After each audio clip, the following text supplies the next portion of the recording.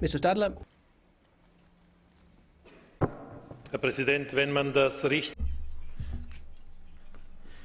even if you do the right thing, if it's not the right moment, it's still wrong.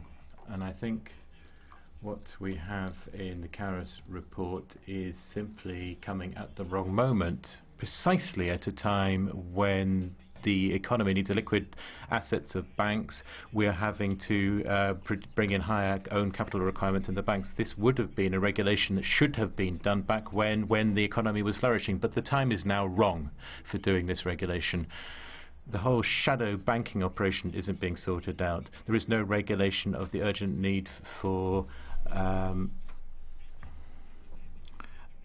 dealing with many of the, uh, the credit issues. Roosevelt, after the big uh, credit crisis, said that uh, measures were necessary and then they were forced through. Also, what isn't dealt with is the distortions of competitions because we're still propping up ailing banks. In June, uh, there's a regulation coming in for speculators and uh,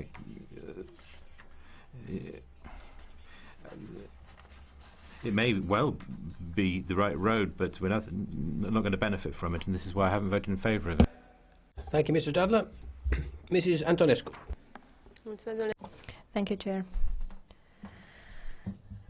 The impact of the global crisis um, makes us understand that it's important to uh, strengthen the regulation framework. We need to increase transparency, predictability,